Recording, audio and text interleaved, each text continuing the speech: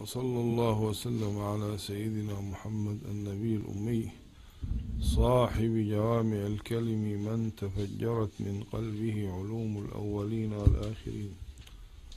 اللهم صل وسلم وبارك عليه وعلى آل البيت الطيبين الأطهار الصحابة الكرام والذين اتبعوهم بإحسان إلى يوم الحشر والقرار. ربنا لا تزغ قلوبنا بعد إذ هديتنا وهب لنا من لدنك رحمة. إنك أنت الوهاب. ربنا إنك جامع الناس ليوم لا ريب فيه. إن الله لا يخلف الميعاد.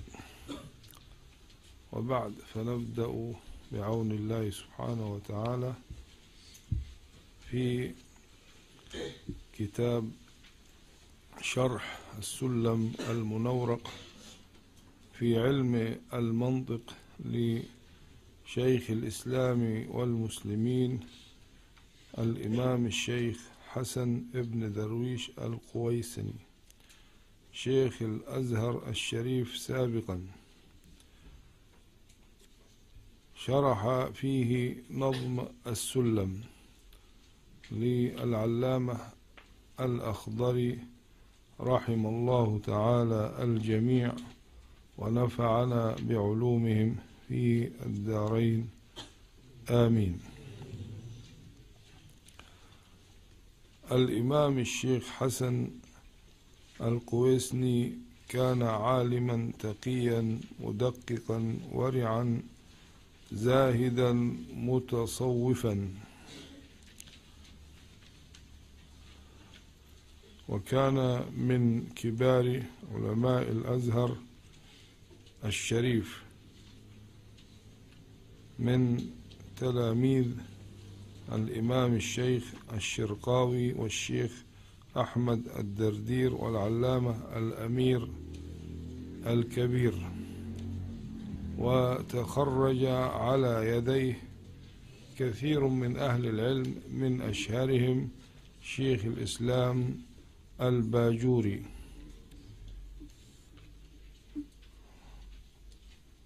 وكان رضي الله تعالى عنه من كبار أهل العلم شرح هذا الكتاب السلم المنورق للشيخ عبد الرحمن الأخضري من علماء القرن العاشر الهجري. وتولى مشيخة الأزهر بعد وفاة الشيخ حسن العطار رحمه الله في سنة 1250 من الهجرة وبقي في مشيخة الأزهر حتى وفاته سنة 1254 ودفن بمسجد الشيخ علي البيومي بالحسينية بالقاهرة. نظم السلم المنورق نظم مختصر ولكنه جامع للفوائد والمعاني الجليلة التي توقف المبتدئ على مبادئ علم المنطق وتعطيه معرفة وإلماما بأهم ما يمكن أن يدركه أو أن يتعلمه حتى يستطيع البحث أو القراءة أو التعامل مع كتب التراث وخاصة الكتب الشرعية كعلم الكلام ككتب علم الكلام وأصول الفقه وأيضا كتب الفقه وغير ذلك مما يحتاج إليه طالب العلم.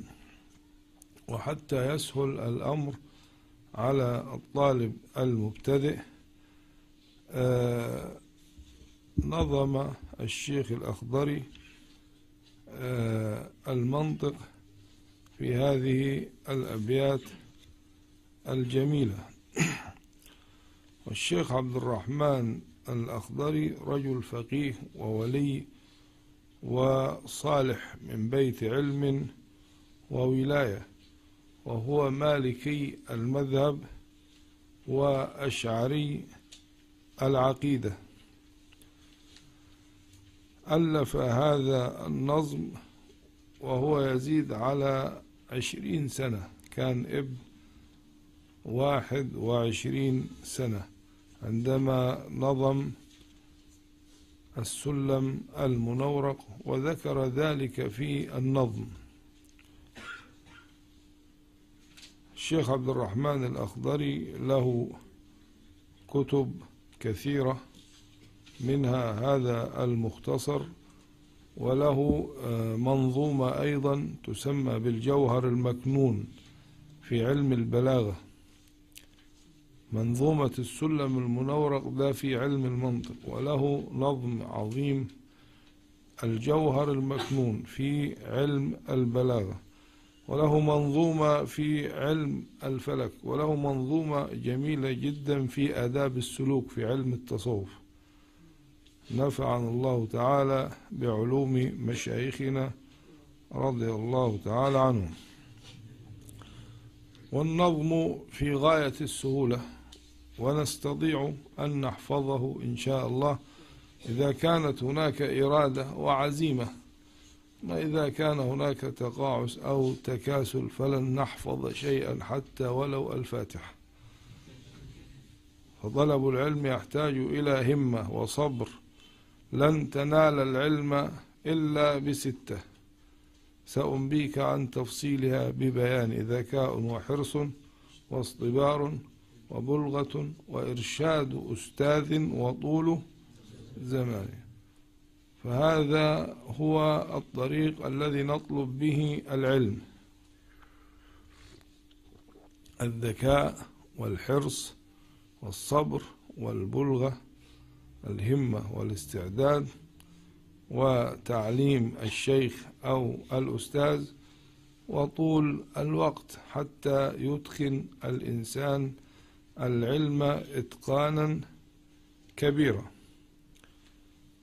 قال رضي الله تعالى عنه الحمد لله الذي قد أخرج نتائج الفكر لأرباب الحجى وحط عنهم من سماء العقل كل حجاب من سحاب الجهل حتى بدت لهم شموس المعرفة. رأوا مخدراتها منكشفة. نحمده جل على الإنعام بنعمة الإيمان والإسلام من خصنا بخير من قد أرسل وخير من حاز المقامات العلا. محمد سيد كل مقتفى العربي الهاشمي المصطفى. صلى عليه الله ما دام الحجى يخوض من بحر المعاني لججا. وآله وصحب ذوي الهدى من شبهوا بأنجم في الاهتدى وبعد فالمنطق للجنان نسبته كالنحو للسان. فيعصم الأفكار عن غي الخطأ وعن دقيق الفهم يكشف الغطاء. فهاك من أصوله قواعد تجمع من فنونه فوائدا سميته بالسلم المنورق يرقى به سماء علم المنطق. والله أرجو أن يكون خالصا لوجهه الكريم ليس قالصا وأن يكون نافعا للمبتدي به إلى المطولات يهتدي. فصل في جواز الاشتغال به والخلف في جواز الاشتغال به. على ثلاثة أقوال. والخلف في جواز الاشتغال به على ثلاثة أقوال. فابن الصلاح والنواوي حرما وقال قوم ينبغي أن يعلما والقولة المشهورة الصحيحة جوازه لكامل القريحة. والقولة المشهورة الصحيحة جوازه لكامل القريحة. ممارس السنة والكتاب ليهتدي به إلى الصواب. فصل في أنواع العلم الحادث. إدراك مفرد تصورا علم ودرك نسبة بتصديق وسم. وقدم الأول عند الوضع أو وقدم الأول عند الوضع لأنه مقدم بالطبع. والنظر ما احتاج للتأمل وعكسه هو الضروري الجلي. وما به إلى تصور وصل يدعى بقول شارح فلتبتهل. وما لتصديق به توصل بحجة يعرف عند العقلاء. فصل في أنواع الدلالة الوضعية. دلالة اللفظ على ما وافقه يدعونها دلالة المطابقة. وجزئه تضمنا وما لزم فهو التزام إن بعقل التزم. فصل في مباحث الألفاظ. مستعمل الألفاظ حيث يوجد إما مركب وإما مفرد. فأول ما دل جزءه على جزء معناه بعكس ما تلا وهو على قسمين أعني المفرد. كلي أو جزئي حيث وجد فمفهم اشتراك الكلي كأسد وعكسه الجزئي وأولا للذات إن فيها اندرج فانسبه أو لعارض إذا خرج. والكليات خمسة دون انتقاص جنس وفصل عرض نوع وخاص. وأول ثلاثة بلا شطط جنس قريب أو بعيد أو وسط. فصل في نسبة الألفاظ للمعاني. ونسبة الألفاظ للمعاني خمسة أقسام بلا نقصان. تواضع تشاكك تخالف. والاشتراك عكسه الترادف. واللفظ إما طلب أو خبر. وأول ثلاثة ستذكر أمر مع استعلاء وعكسه دعاء. وفي التساوي فالتماس وقع. فصل في بيان الكل والكلية والجزء والجزئية.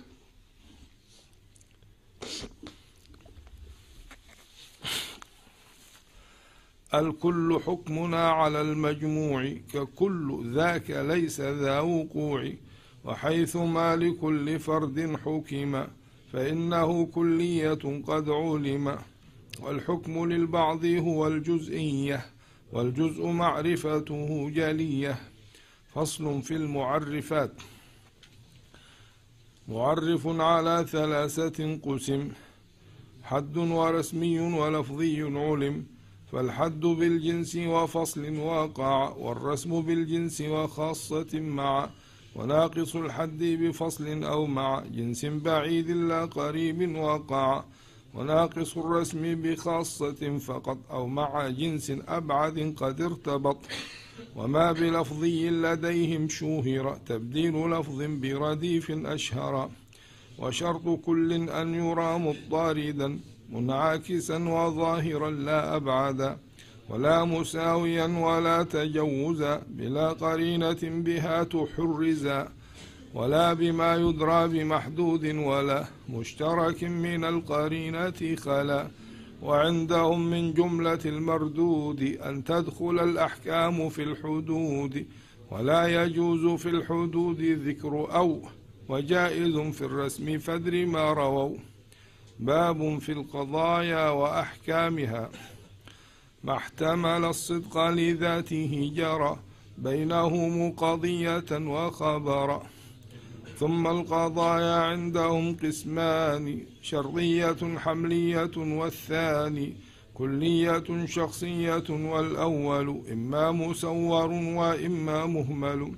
والسور كليا وجزئيا يورى وأربع أقسامه حيث جرى إما بكل أو ببعض أو بلا. شيء وليس بعض أو شبه جلا وكلها موجبات وسالبة فهي إذا إلى الثمان آيبة. والأول الموضوع في الحملية والآخر المحمول بالسوية. وإن على التعليق فيها قد حكم فإنها شرطية وتنقسم. أيضا إلى شرطيات متصلة ومثلها شرطيات منفصلة. جزءاهما مقدم وتالي أما بيان ذات الاتصال ما أوجب التلازم الجزئين وذات الانفصال دون مين؟ ما أوجب التنافرا بينهما؟ أقسامها ثلاثة فلتعلم مانع جمع أو خلو أو هما وهو الحقيقي الأخص فاعلم. فصل في التناقض. تناقض خلف القضيتين في كيف وصدق واحد أمر قوفي فإن تكن شخصية أو مهملة فنقضها بالكيف أن تبدله وإن تكن محصورة بالسور فانقض بضد سورها المذكور. فإن تكن موجبة كلية نقيضها سالبة جزئية. وإن تكن سالبة كلية نقيضها موجبة جزئية. فصل في العكس المستوي. العكس قلب جزئي القضية مع بقاء الصدق والكيفية. والكم إلا الموجب الكلية فعوضوها الموجب الجزئية والعكس لازم لغير ما وجد. به اجتماع الخستين فاقتصد. ومثلها المهملة السلبية لأنها في قوة الجزئية. والعكس في مرتب بالطبع وليس في مرتب بالوضع. باب في القياس.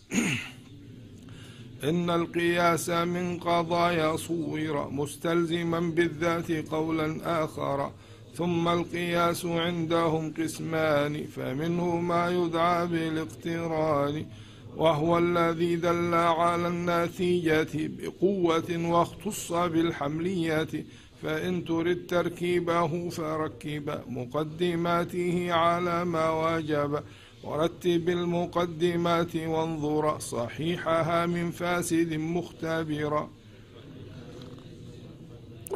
فإن لازم المقدمات بحسب المقدمات آتي وما من المقدمات صغرى فيجب اندراجها في الكبرى. وذات حد أصغر صغراهما وذات حد أكبر كبراهما. وأصغر فذاك ذو اندراج ووسط يلغى لدى الإنتاج. فصل في الأشكال. الشكل عند هؤلاء الناس يطلق عن قضيتي قياس من غير أن تعتبر الأسوار إذ ذاك بالضرب له يشار. وللمقدمات أشكال فقط أربعة بحسب الحد الوسط. حمل بصغرى ووضعه بكبرى يدعى بشكل أول ويدرى وحمله في الكل ثانيا عرف ووضعه في الكل ثالثا ألف. ورابع الأشكال عكس الأول وهي على الترتيب في التكمل فحيث عن هذا النظام يعدل ففاسد النظام أما الأول.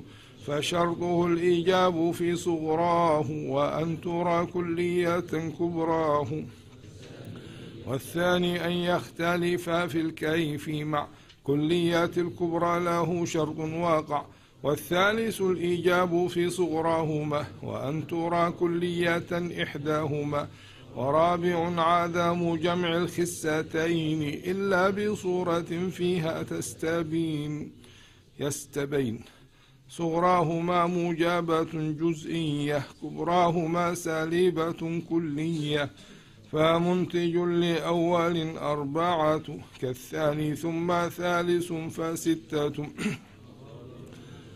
ورابع بخمسة قد أنتج وغير ما ذكرته لن ينتج. وتتبع النتيجة الأخس من وتتبع النتيجة الأخس من. تلك المقدمات هكذا زوك وهذه الأشكال بالحملي مختصة وليس بالشرطي والحذف في بعض المقدمات أو النتيجة لعلم آتي وتنتهي إلى ضرورة لما من دور أو تسلسل قد لازم. فصل في القياس الاستثنائي. ومنه ما يدعى بالاستثناء يعرف بالشرط بلا امتراء وهو الذي دل على النتيجة أو ضدها بالفعل لا بالقوة. فإن يك الشرط ذا اتصال أنتج وضع ذاك وضع التالي ورفع تال رفع أول ولا يلزم في عكسهما لما انجلى وإن يكن منفصلا فوضع ذا ينتج رفع ذاك والعكس كذا. وذاك في الأخص ثم إن يكن مانع جمع فبوضع ذا زكن. رفع لذاك دون عكس وإذا مانع رفع كان فهو عكس ذا. فصل في لواحق القياس. ومنه ما يدعونه مركبة. لكونه من حجج قد ركبه فركبنه إن ترد أن تعلمه واقلب نتيجة به مقدمة يلزم من تركيبها بأخرى نتيجة إلى هلم جر متصل النتائج الذي حوى يكون أو مفصولها كل سواء وإن بجزئي على كلي استدل فذا بالاستقراء عندهم عقل. وعكسه يدعى القياس يدعى القياس المنطقي وهو الذي قدمته فحقق. وحيث جزئي على جزئي حمل لجامع فذاك تمثيل جعل. ولا يفيد القطع بالدليل قياس الاستقراء والتمثيل. فصل في أقسام الحجة. وحجة نقلية عقلية أقسام هذه خمسة جالية خطابة شعر وبرهان جدل وخامس سفسطة نلت الأمل أجلها البرهان ما ألف من مقدمات باليقين تقترن من أوليات مشاهدات مجربات متواترات. وحدثيات ومحسوسات فتلك جملة اليقينيات. وفي دلالة المقدمات على النتيجة خلاف آتي عقلي أو عادي أو تولد أو واجب والأول المؤيد. خاتمة في بيان خطأ البرهان. وخطأ البرهان حيث وجد في مادة أو صورة فالمبتدأ في اللفظ كاشتراك أو كجعل ذا تباين مثل الرديف مأخذا وفي المعاني لالتباس الكاذبة بذات صدق فافهم المخاطبة كمثل جعل العارضي كالذات أو ناتج إحدى المقدمات والحكم للجنس بحكم النوع وجعل كالقطعي غير القطع والثاني كالخروج عن أشكاله وترك شرط النتج من إكماله. هذا تمام الغرض المقصود من أمهات المنطق المحمود. قد انتهى بحمد رب الفلق ما رمته من فن علم المنطق. نظمه العبد الذليل المفتقر لرحمة المولى العظيم المقتدر الأخضري عابد الرحمن المرتجي من ربه المنان مغفرة تحيط بالذنوب تكشف الغطاء عن القلوب وأن يثيبنا بجنة العلا فإنه أكرم من تفضل. وكن أخي للمبتدي مسامحا وكل إصلاح الفساد نصيحا وأصلح الفساد بالتأمل وإن بديهة فلا تبدل. إذ قيل كم مزيف صحيحا لأجل كون فهمه قبيحا. وكم من عائب قولا صحيحا وآفاته من الفهم السقيم وقل لمن لم ينتصف لمقصدي العذر حق واجب للمبتدي ولبني إحدى وعشرين سنة معذرة مقبولة مستحسنة لا سيما في عاشر القرون ذي الجهل والفساد والفتون وكان في أوائل المحرم تأليف هذا الرجز المنظم من سنة إحدى وأربعين من بعد تسعة من المئين. ثم الصلاة والسلام سرمد على رسول الله خير من هدى وآله وصحبه الثقات السالكين سبل النجاة. ما قطعت شمس النهار أبرج وطلع البدر المنير في الدجى. خلاص قضي الأمر.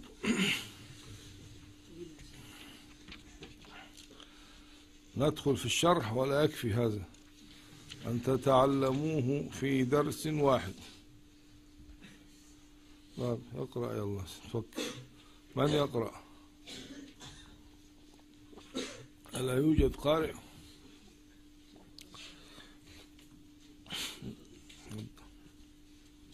بسم الله الرحمن الرحيم. الحمد لله رب العالمين والصلاة والسلام على أشرف الأنبياء والمرسلين سيدنا ومولانا محمد وعلى آله وأصحابه أجمعين.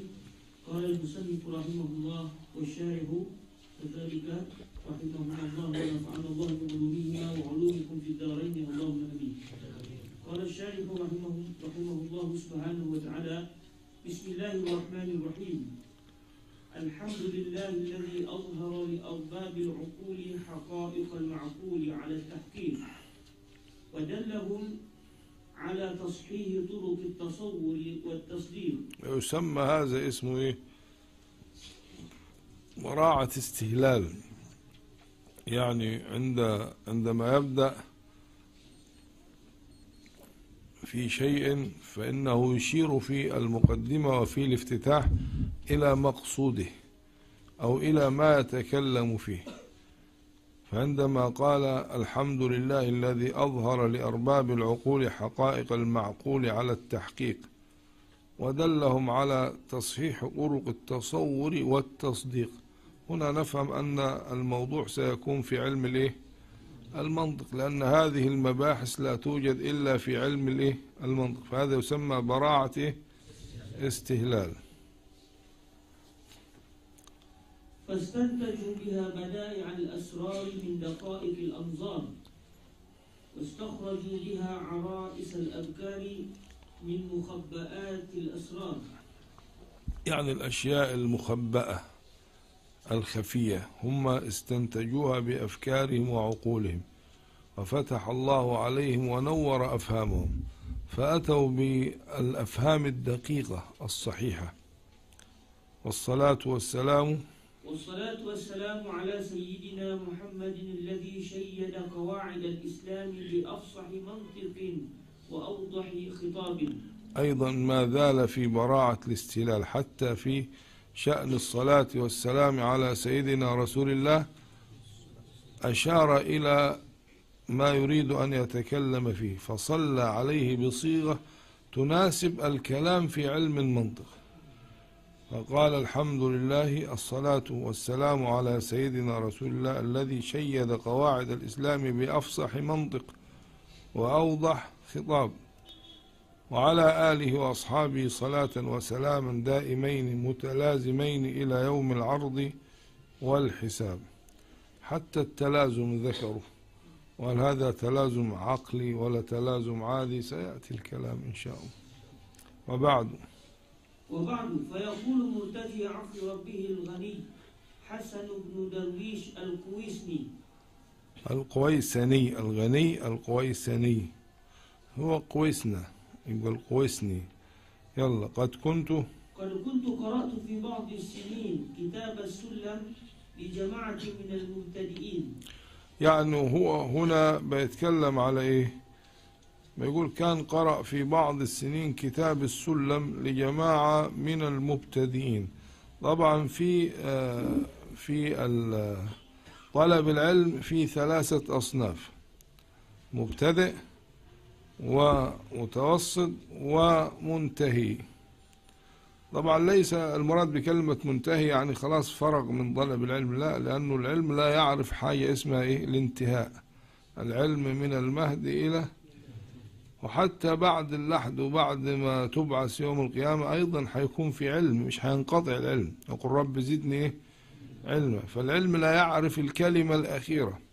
لا نقول فلان انتهى يعني حصل جميع العلوم. وإنما المراد بال- بالمنتهي أنه جاوز إيه المرحلة الابتداء والمرحلة الوسط ووقف على المرحلة الإيه العالية اللي هي تسمى إيه مرحلة النهاية. هي صحيح لها بداية. هو يسمى هنا منتهي لأنه وصل إلى بداية الانتهاء وليس إلى نهاية الانتهاء. فال فالعلم ليس لنهايته نهاية. وقل رب زدني علما وفوق كل ذي علم. فالمبتدي من هو المبتدي الذي أخذ في التعليم ولم يقدر على تصور المسائل. هذا هو الإيه؟ المبتدئ. إحنا يعني يأخذ لسه في في بداية الطلب ولا يستطيع تصور أو تصوير المسائل. والعلماء قسموا طلاب العلم إلى كم مستوى؟ ثلاث المبتدئ والذي يبدأ في الشروع في العلم ولم يقدر على تصور مسائله. أما المتوسط هو الذي عنده قدرة على التصور ولكن يعجز عن الاستدلال. طب والمنتهي الذي وصل إلى مراحل النهاية هو من يقدر على التصور ويقدر على الاستدلال. يبقى الأول المبتدئ من هو؟ شرع في تصور مبادئ العلم ولكن عجز عن إيه؟ ها؟ عجز عن تصور. لسه يشرع فيها لسه لم تكتمل عنده الصورة الذهنية. هذا يسمى مبتدئ. أما المتوسط قادر على التصور وليس قادرا على إيه؟ والمنتهي قادر عليهما على التصور وعلى الاستدلال. وضحت الفرق بين الإيه؟ المستويات الإيه؟ الثلاثة. يلا يا شيخ. إحنا إحنا لا لا نطيل في الشرح عشان نجيب الايه الخلاصة وال- والفائدة. عشان إيه؟ نستطيع أن ننتهي من الكتاب. ولو أخذنا في التطويل والتعليقات الكثيرة يعني الأحسن إيه؟ نقف عند الإيه؟ المطلوب. نعم. فسألوني أن أملي عليه كلمات توضح ما أشكل منه. وت- وتف- وتفتح ما أغلق منه. يبقى هو بيتكلم على إنه جماعة من المبتدئين سألوا الشيخ بيقولوا له عاوزين تعمل لنا توضيح لما أشكل من نظم السلم أو من كتاب السلم. وتفتح علينا ما أغلق. يعني أحيانا الإنسان ينغلق عليه الفهم. يتوقف يعني أو يشتبه. فماذا يريدون منه؟ التوضيح وفتح المغاليق مع الاقتصار على معانيه يعني يبين المعنى بس؟ بطريقة مختصرة وإعراب مبانيه يعني إعراب الألفاظ. يبقى عاوزين منه كم شيء؟ أربع أشياء. توضيح ال- الكلمات وفتح المغاليق وبعدين إيه الفتح ده يعني معناها يعني زيادة في توضيح الأمور الغامضة ولكن مع الاقتصار على معانيه وإعراب مبانيه. يعني حتى الإعراب مطلوب إعراب الألفاظ ده مبتدأ ده خبر ده حال إلى آخره. فأمليت عليه ما تيسر من حفظي. شوف قوة العلم أخذ يملي على هؤلاء الطلاب من حفظه ولم أراجع فيه مادة. يعني لم يرجع إلى كتاب أو إلى مصدر سوى محلين أو ثلاث. يعني في مسألتين اشتبه الأمر على الشيخ فرجع إلى إيه؟ إلى بعض المصادر من أجل مسألتين فقط في الكتاب كله. راجعت فيها. وهنا العلم يكون في فتح ويكون في يعني فهم. إذا أنت رجعت إلى كلام الأكابر أو إلى شروح من سبقونا بالعلم والإيمان فراجع شرح شيخ شيوخنا العلامة الملوي. العلامة الملوي اسمه إيه؟ أحمد ابن عبد الفتاح ابن يوسف شافعي المذهب وهو من أهل القاهرة. والملوي نسبة إلى إيه؟ بلدة ملوي. كان مسندا في عصره ورضي الله تعالى عنه كان من علماء الأزهر وأخذ عن آه، كثير من أكابر أهل العلم. ذكرنا آه، ترجمة سريعة له وله من المؤلفات آه، له شرحان على السلم في شرح كبير وفي شرح متوسط له شرحان وليس شرحا واحدا. ما زال شرح الشيخ الملوي ومن أعظم وأعجب الشروح ما زال والله أعلم مخطوط. لم يطبع شرح الشيخ الايه الملوي له شرحان لا شرحا واحدا شرح كبير وشرح آه صغير. في شرح كبير وشرح إيه صغير. فما هو الشرح الذي رجع إليه الشيخ القويسني؟ لعله الشرح الايه الصغير لأنه الشرح الصغير آه مشهور وانتشر لأنه إيه؟ مبسط وصغير. ودائما ال- الشروح الصغيرة خاصة الدقيقة المتقنة لها انتشار وينتفع الناس بها أكثر من المطولات يعني شرح مثل هذا تسافر به تحمله معك تقرأه في المواصلات آه، في أوقات الراحة إنما لو جئناك بشروح ال- الشمسية أو بالشروح الكبيرة تكره المنطق ولا تفتح الكتاب إلا يوم القيامة إن شاء الله. استأذنني بعض الإخوان. عامله الله باللطف والإحسان. أن يجرده من الإعراب لكونه غير لائق بهذا الشأن. يعني في بعض إخوانه كان يعني حريص عليكم وكان هذا الرجل يعني محب لكم. فاستأذن الشيخ قال له يعني ما في داعي للإعراب وال لأنه حيطول الكتاب وهو غير مناسب. إحنا عاوزين نتعلم القضايا المنطقية. إنما حندخل في الإعراب حنخرج إلى علم آخر علم النحو. فقال له يعني ما في داعي أحذف ليه الإعراب. لكونه غير لائق بهذا الشأن فأذنت له في ذلك. يعني الشيخ كتبه ووضحه وفتح المغاليق ويسره للطلاب وذكر الفوائد وأعربه يعني ذكر الإعراب ولكن استأذنه بعض الطلبة أن يحذف الإعراب. يعني كان الكتاب أكبر من هذا كان فيه الإعراب فحذف منه ليه؟ الإعراب. فأذنت له؟ فأذنت له في ذلك فجرده من الإعراب فجاء بحمد الله جملة كافية في فهم الكتاب لذوي الألباب. وأنا أسأل من اطلع عليه أن يتجاوزني عما يراه من خطأ وزلل. وعلى الله الاعتماد والتكلان وإليه الملجأ وبه المستعان.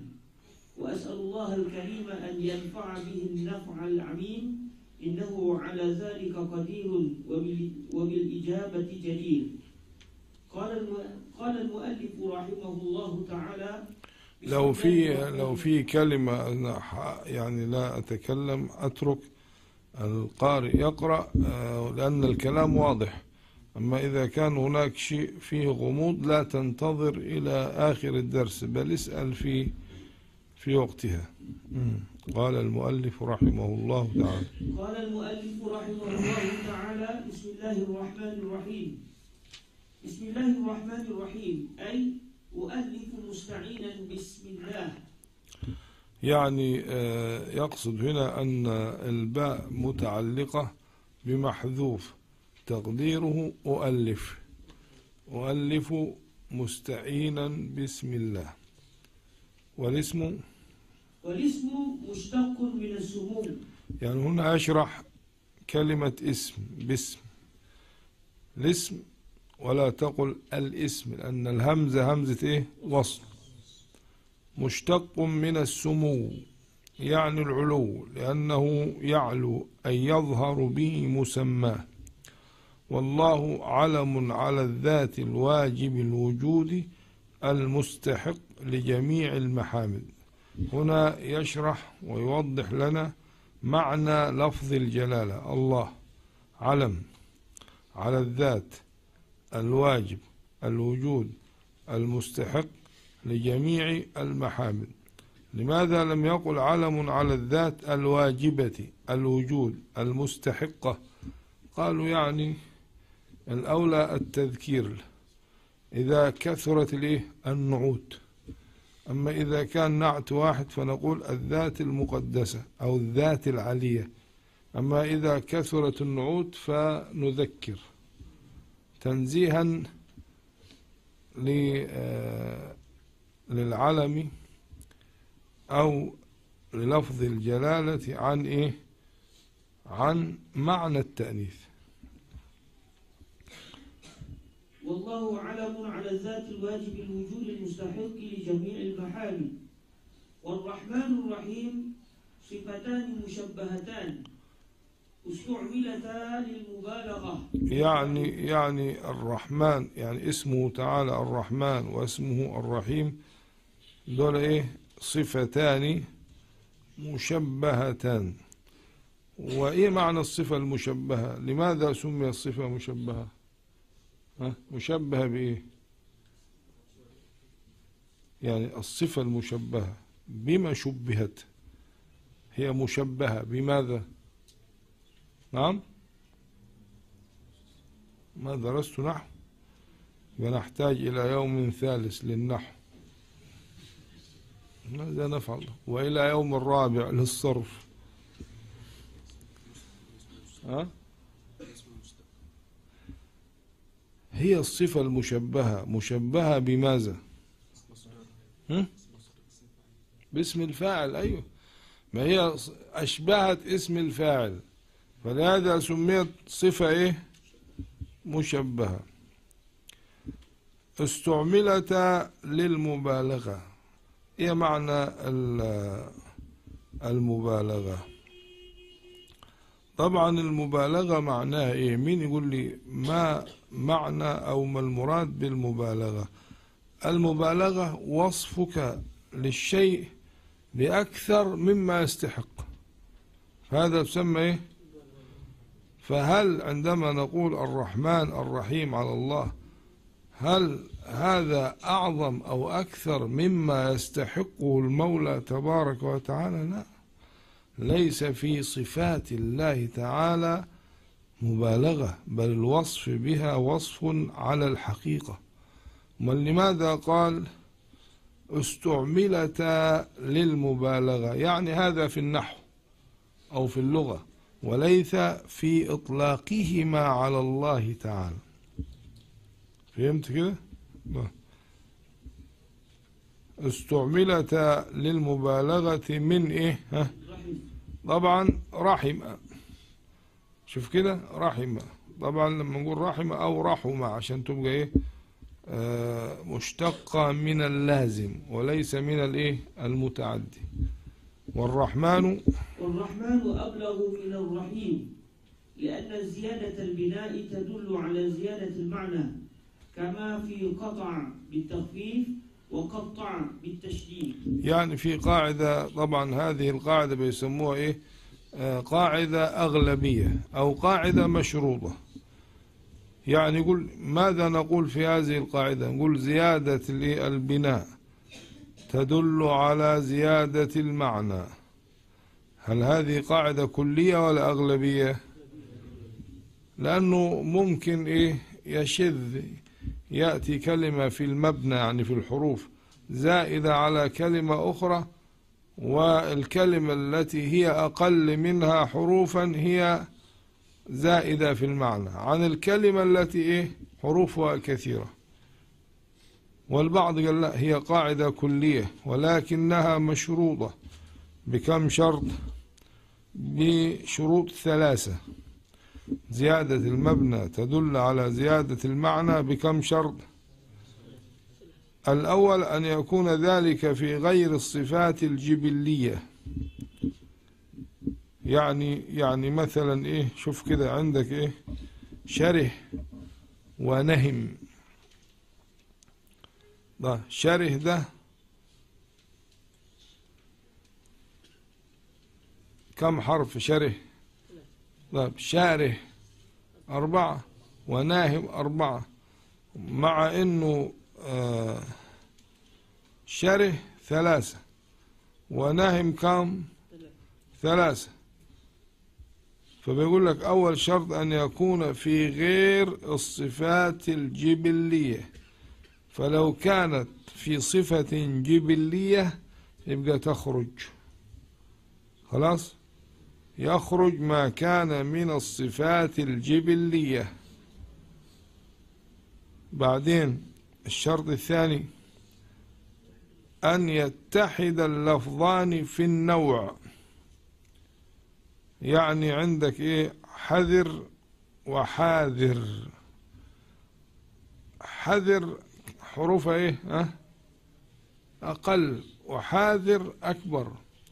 مع إنه ليس هنا زيادة المبنى زي ما قلنا في الأول تدل على زيادة المعنى. لأنه حذر اللي هي ثلاثة أبلغ من حاذر اللي هي أربعة. ليه؟ لأنه هنا في شرط اللي هو إيه؟ اتحاد اللفظان في النوع. فحذر صفة مشبهة وحاذر اسم فاعل فلازم الاثنين يكونوا متحدين ده اسم فاعل وده اسم فاعل ده صفة وده صفة. فهنا تنطبق الايه القاعدة. بشرط إيه؟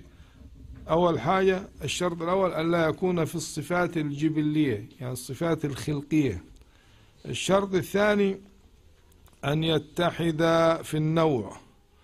ولذلك قلنا الأول اللي هو حذر أبلغ من الثاني لكونه صفة مشبهة. طيب الثالث الاتحاد في الاشتقاق. زي إيه؟ قطع وقطع. لأنه قطع مشتق من القطع وقطع مشتق من القطع. فإذا اتحد الاشتقاق يبقى زيادة المبنى تدل على زيادة المعنى زي إيه؟ الرحمن والرحيم. أيهما أبلغ؟ الرحمن ولا الرحيم؟ الرحمن لأن الرحمن فيها إيه؟ حرف زيادة. رحمن خمسة أحرف ورحيم أربعة. فزيادة المبنى تدل على زيادة المعنى. لأن إيه؟ لأنه هنا اتحد ليه؟ ها؟ اتحد الاشتقاق. زي قطع وإيه؟ وقطع. ولذلك إذا لم يتحد الاشتقاق يبقى إذا لو كانت الحروف زائدة لا تدل على زيادة المعنى. ولأجل هذا من غفل عن هذه الشروط جعل القاعدة أغلبية. ما هو ممكن نقول أغلبية وخلاص أي شيء لا يناسب نخرجه بقولنا إيه أغلبية. أما إذا ربطنا الشروط يبقى القاعدة إيه كلية بس إيه مشروطة مش كلية مطلقة بالشروط بحيث إذا لم تنطبق الشروط خلاص. يبقى مثلا عندنا كلمتان شوف كده زمن زمن وزمان. أقول لك زمان سيدنا أبي بكر وأقول لك زمن سيدنا أبو بكر. شوف زمان كم حرف. طب وزمن والمعنى واحد. لا يوجد إيه آه زيادة في كلمة زمان في المعنى على كلمة زمن لماذا؟ ها؟ لأنه ما فيش اشتقاق لأنه زمن ده جامد. بخلاف قطع وقطع ما فيش اشتقاق. فده جامد. لازم يكون فيه اشتقاق. يعني هل ترى أنه في كلمة زمن زمان اللي هي زمن اللي هي كان أربعة أحرف هل ترى فيها معنى زائد؟ ما الفرق بين زمان عمر وبين زمن عمر؟ واحد. ليه؟ لأنه لا اشتقاق. الاشتقاق يوجد في الرحمن والرحيم وفي قطع وقطعه إنما حذر وحاذر عشان اختلاف النوع. طب وشاره وشاره عشان إيه؟ إنه من الصفات الجبلية. فهذه الشروط أو هذه فائدة عظيمة ذكرها العلامة الشيخ الصاوي في الحاشية على الخريدة. ولذلك حاشية الإمام الصاوي على الخريدة حاشية عظيمة ولها فوائد جليلة وكبيرة. شرحنا حاشية السباعي وحاشية الشيخ الدردير نفسه. أما حاشية الصاوي شرحنا فيها بعض الإيه الدروس ولكن لم نكملها. حاشية الصاوي على الإيه على الخريدة. أما حاشية الصاوي على الجوهرة شرحت كثيرا والحمد لله رب العالمين. اقرأ مولانا يبقى هنا شوف ال- ما هو ال- ال- اللي منطبق عليه الشروط ده قطع قطع. فعندما أقول قطع المعنى إيه؟ فيه زيادة. قطع عن التقطيع كثير أما قطع يمكن قطعة واحدة. لما أقول قتل وقتل؟ أو لما أقول إيه؟ ظالم وظلام. يبقى إذا ظلام فيها معنى إيه؟ أكثر. كثرة الظلم. ليه؟ لأنه هنا منطبقة إيه؟ الشروط. ليس من الصفات الجبلية. النوع المتحد الاشتقاق ده مشتق وده مشتق.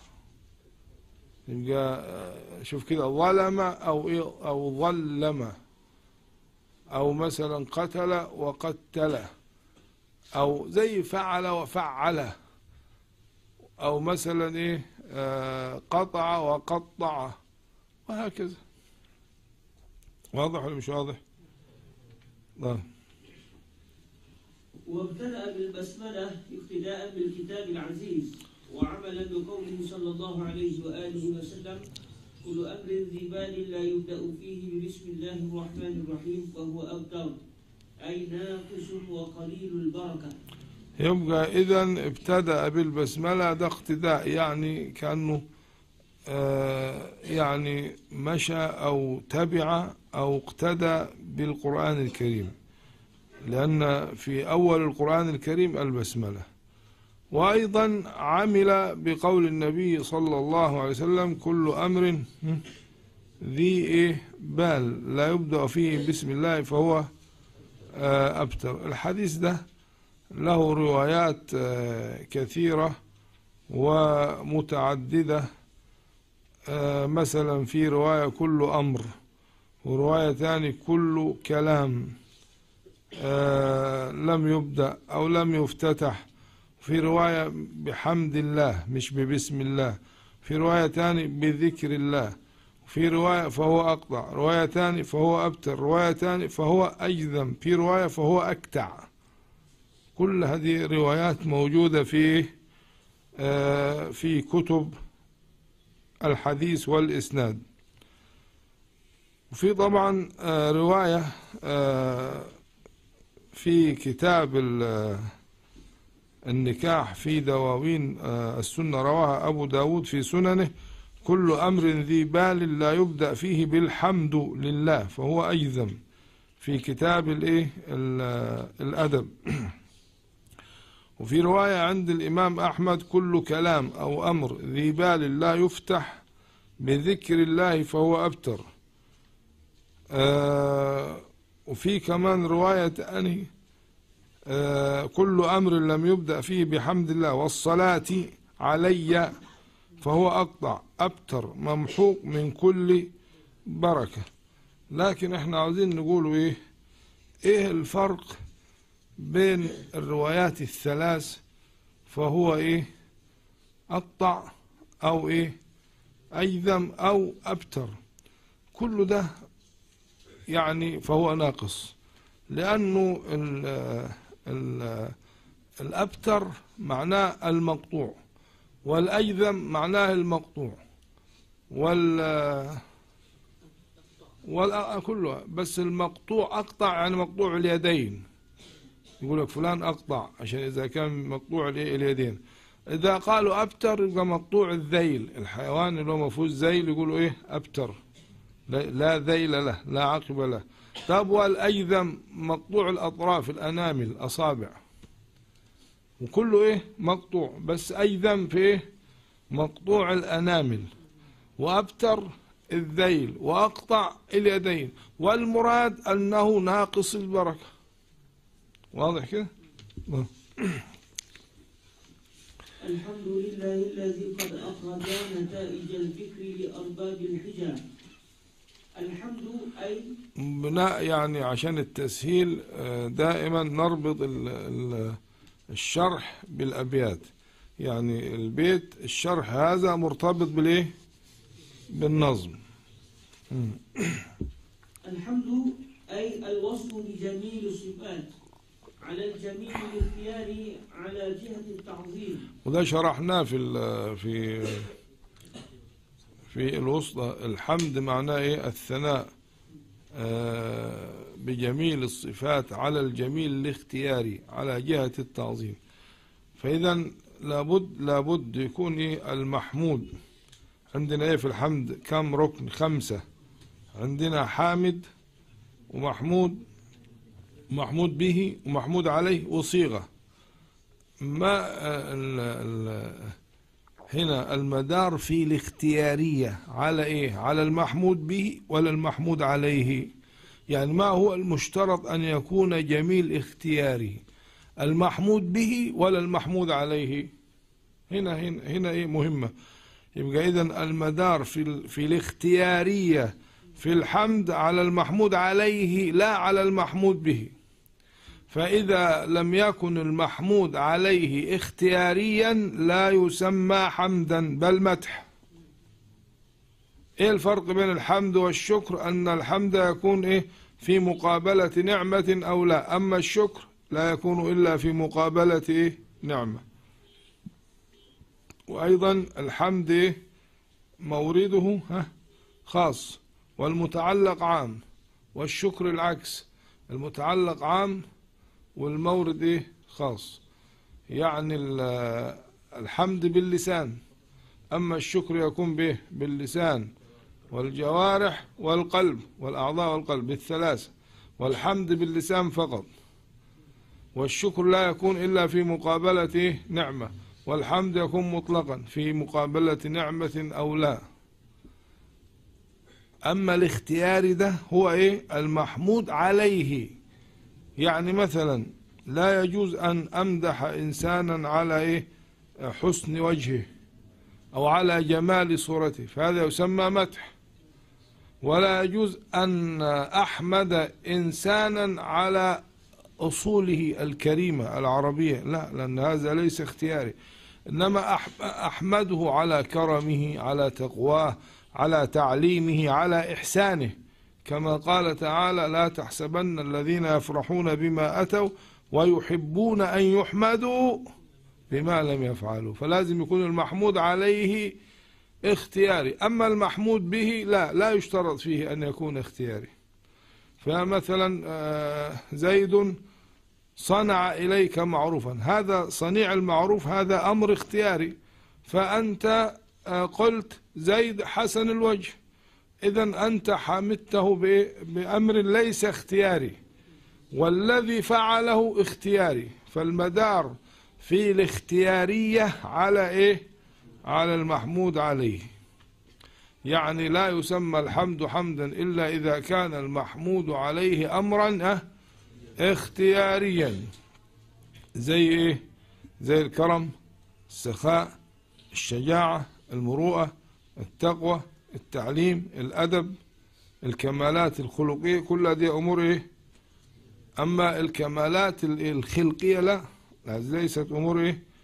يعني لا أمدح الوردة وإنما لا لا أحمد الوردة على إيه؟ حسن شكلها هذا أمر ليس اختياري. خلاص واضح؟ آه. يلا. يبقى الوصف بجميل الصفات على الجميل أه على الجميل الاختياري. طبعا كلمة بجميل الصفات لم يشترط أن تكون إيه؟ اختيارية. إنما اشترط أن يكون المحمود عليه اختياري. وفي شرط ثاني أن يكون ذلك على جهة التعظيم. فإذا كان على جهة التهكم أه؟ لا يسمى إيه؟ لا يسمى حمدا بل هذا سخرية أو استهزاء. كقوله تعالى ذق ها إنك أنت العزيز الكريم. لازم يكون على جهة التعظيم. ثابت لله اختصاصا واحتقاقا. آه الحمد. الحمد لله يعني إيه هنا إيه؟ في هنا مبتدأ وخبر الحمد ثابت لله. الحمد الخبر محذوف. الحمد ثابت لله. إيه معنى ثابت يعني الله تعالى مختص به ومستحق له يعني هو سبحانه وتعالى من خصائصه. الحمد والحمد هو تعالى يستحق هذا الحمد. سواء سواء جعلت فيه ال للاستغراق. ال اللي فيه الحمد ممكن تكون للاستغراق. فحيكون معناها كل كل المحامد أو كل حمد فهو خاص أو مستحق لله. وهو ظاهر. عرفنا ال ال الاستغراقية علامتها إيه؟ أنها يوضع مكانها إيه؟ كل. ويصح الاستثناء بعدها.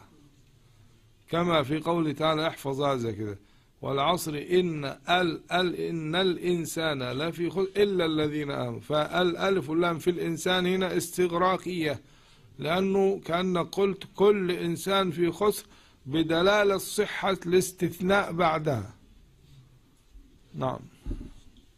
وهو ظاهر أم للجنس لأنه يلزم من اختصاص الجنس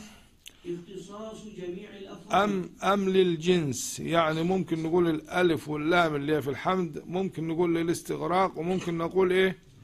للجنس. يعني إيه الفرق بين الاستغراق وبين الجنس؟ الاستغراق ده يستغرق يستغرق. يعني يشمل كل الأفراد. أما الجنس الحكم فيه يكون على إيه؟ آه على الجنس بغض النظر عن الأفراد أو بقطع النظر عن الأفراد. يعني كأنك قلت جنس ما يسمى حمد هو لله. من غير ما أنظر إلى الأفراد. فإذا نظرت إلى الأفراد تكون استغراقية. يبقى للجنس لأنه يلزم من اختصاص الجنس اختصاص جميع الأفراد. يعني هو في النهاية إيه؟ لو قلت هي للجنس أو للاستغراق ما هو الاستغراق معناها شمل إيه؟ شامل جميع الايه الأفراد. طب والجنس؟ يلزم من اختصاص الجنس اختصاص جميع الأفراد. يعني إذا كان جنس الحمد مختص بالله إذا فأفراده كذلك. أم للعهد. يبقى هنا في كم احتمال في الألف واللام؟ الجنسية وال والاستغراقية والعهدية.